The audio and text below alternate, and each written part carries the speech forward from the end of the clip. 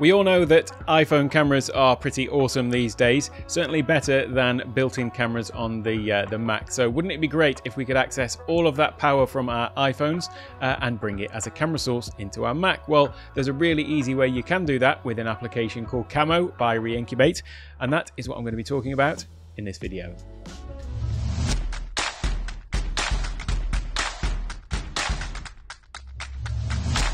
Hello, welcome to Take One Tech. My name's Alec, and in this video, we're going to be talking about Camo from Reincubate, which uh, is just a little app that you install on your phone, an app that you install on your Mac, link them together, and there we go. It gives you full access to all of the power of your iPhone's built in camera uh, and just presents it as a new camera that you can use on your Mac. Now, this is great if you are a heavy zoom user and you want a uh, to upgrade basically your image quality. Uh, you can do it effortlessly using Camo.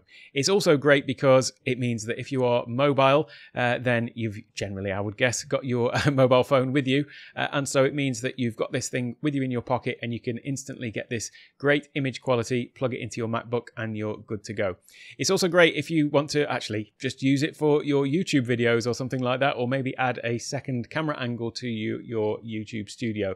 That's what I'm using it for actually. I've got a, a top down camera, which is an old iPhone XS that I had lying around and now it has been put to better use instead of in the landfill or the recycling, wherever it might go, uh, to uh, basically give me a top down shot. Uh, and previously I was using a Logitech webcam and I can tell you the image quality is far better than I was getting from that. So uh, the same would be true if you are using uh, your Mac's built-in camera or maybe a, an external Logitech camera, something like that, you will get a much better image quality from uh, Camo using your iPhone's quali- uh, built-in camera, especially if you've got one of the newer models. So uh, that's what we're talking about today. So let's dig in and have a look at it. Uh, there's not much to show you about the interface on the iPhone. You just go and download it. I'll show you where to download it in shortly, and then I'll also put a link in the description. Uh, but you simply just download it, you open it up, and that's all there is to it. There's no settings or anything like that on the phone itself. Uh, you just then need to download the software for the Mac, uh, and then plug your phone into the Mac using a uh, cable, and it will just appear there as a, an option for you to choose. So uh, probably easy if I just actually show you how this works in practice. So I've got Camo open on my desktop on my Mac. Uh, and here we go. It's just the uh, the basic uh, interface is like this. I've got the uh, picture that I'm getting. So as you can see, this is my top-down camera from my iPhone 5XS. Uh, and then over on this side, we've basically in the top, we've got this little uh, icon here which pops out this little side panel. Now, if you are using the free version, there are there are a few limitations, but I'll explain those as we go along. So first of all, uh, we've got a few different menus. In fact, let me just collapse some of these so that we can go through them one by one. Uh, so we've got a camera settings menu. If I click on that one, then we can choose the device. So I've only got one plugged in at the moment, but you can plug in multiple different phones. Uh, so you can choose which one you want. It's telling me the battery level there. Uh, then you've got the uh, the mode. Now, this is, as I mentioned, an iPhone 5 XS, so it's quite an old phone. Uh, but if you were using one of the newer phones, then you would have access to things like portrait mode. So uh, you would be able to select that if you so wished. Next is the uh, lens. I've only got the choice of two here, obviously, because I've got basically a front-facing lens and the back-facing lens, the selfie lens. Uh, or is it the other way around? I never know which quite which is supposed to be the front and back. there we go. Uh, so that's uh, that's that. And then we've also got the focus. Now at the moment it's set to auto, but you can actually do a manual focus. So if you are going to have this fixed in one place, looking at a specific spot, then you can actually do a manual focus. So you can see that as I move the slider, it is adjusting the focus of the uh, the shot, so you could actually just get that exactly as you want it. Uh, because obviously, if you're on manual focus and something comes into shot, then it will focus on that instead. and incidentally, the focus on these is pretty quick considering, as I say, it's just a phone camera. If I move something into shot, you can see it focuses on that and moves back. Certainly a hell of a lot better than the Logitech camera that I was using before, which simply actually it just wouldn't focus at that uh, that range because that's not what it's made to do. So uh, then you've got the uh, resolution, so you can change the uh, resolution, uh, obviously up to whatever the maximum is of the uh, particular camera. So if you're using one of the later models, then you'll probably be able to go up higher than 1080p. Uh, and then also you have the audio mode. Now uh, there's basically two choices here: either the uh, uh the main camera, the sorry, the main camera microphone, or you've also got the bottom microphone, the one that you use for voice. And then obviously you might want to use a separate microphone if you're using this for Zoom or things like that. Wouldn't necessarily recommend this uh, for that, but uh, there you go. At least you do have that choice. Next, you've got some uh, presets menu. So if I click in here, there is some uh, presets. Uh, now, I've already got one here for iPhone 5XS because I've actually created my own preset, but there is some uh, other ones here that are for different uh, presets in terms of the image quality. So if I come down here, you can see it's changed that. They're all a bit uh, gimmicky, really, to be honest. Uh, the real power of this, I think, comes from actually creating your own presets uh, and just sort of tweaking the image a little bit. So I'll just come back to that one for the moment.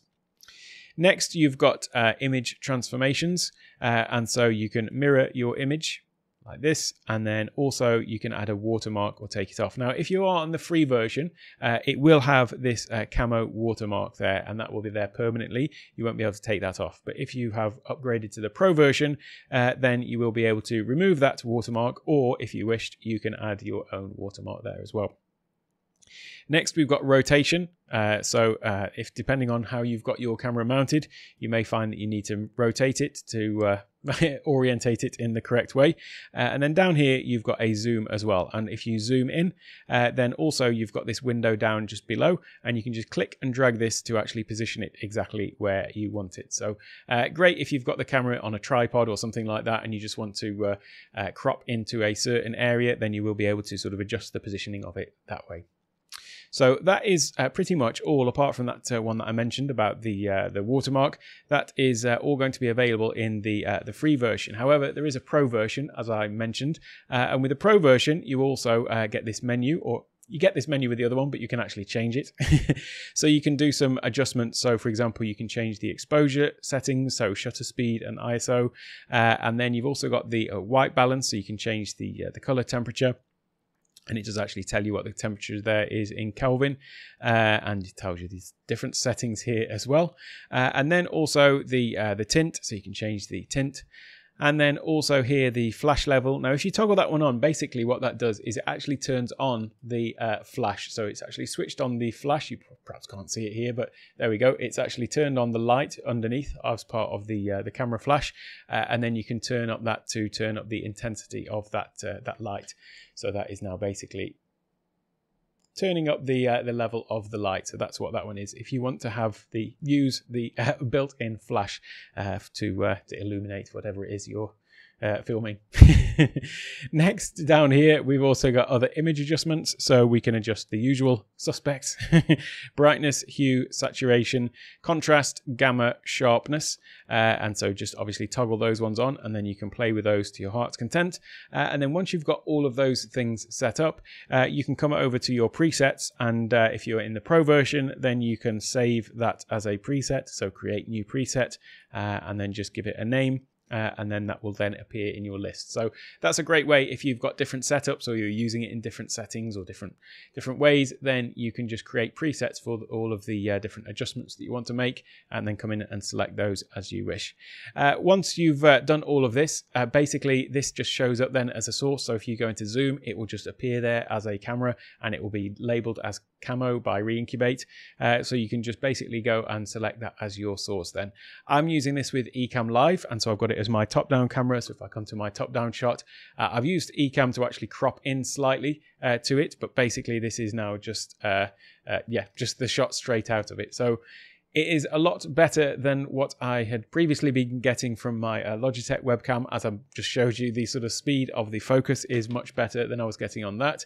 Uh, the difference in uh, sort of image quality is uh, is is certainly certainly clear to me as well, uh, and it just works much better for me for a uh, top-down camera. I definitely will use it as well, like if I'm out on the road or something like that and don't have my uh, equipment with me. Uh, if I'm doing Zoom calls or things like that, it's definitely one up on the uh, the built-in Mac cameras. So. Uh, that's what I wanted to tell you about today. But let me before I go, just actually tell you where to get it from as well. Uh, but before I do that, if you have found this useful at all, don't forget to go down and hit the like button. It really does uh, show me that uh, what I'm doing is having some sort of impact. and if you found it extra useful, uh, then you can always go and find my uh, Buy Me Coffee page at buymeacoffee.com slash take one tech. Uh, so Also, if I just come over to my uh, screen sharing now, I'll just show you this before I uh, sign off because this is obviously the crucial part where to get it from. It's reincubate.com slash camo uh, and then you can uh, download the app there. This is the icon for it, so this is what to look out for in the App Store. App Store. You can just go to the iOS App Store and find it anyway, or you can come here and download it. Uh, and then you'll also download the uh, the desktop version. So on the website, if I scroll down, you can see that they've got the uh, download for Mac OS here as well. So that's for the uh, the desktop version. Once you've done that, just plug them both together and then you are away. Uh, if you do want to go for the pro version, which uh, to be honest, I highly recommend, depending on your use case, it's just $40, or if you pay monthly, it's $5 a month, or, or you can get a lifetime license for $80. So, like I say, highly recommend it. It's been uh, great for me, and uh, yeah, it's, it's a, certainly a great way to unlock some of the power of your iPhone on your Mac. So I hope you found that useful. If you did, don't forget to like, subscribe, and comment. And I'll leave a link to some other great app videos over on the right hand side.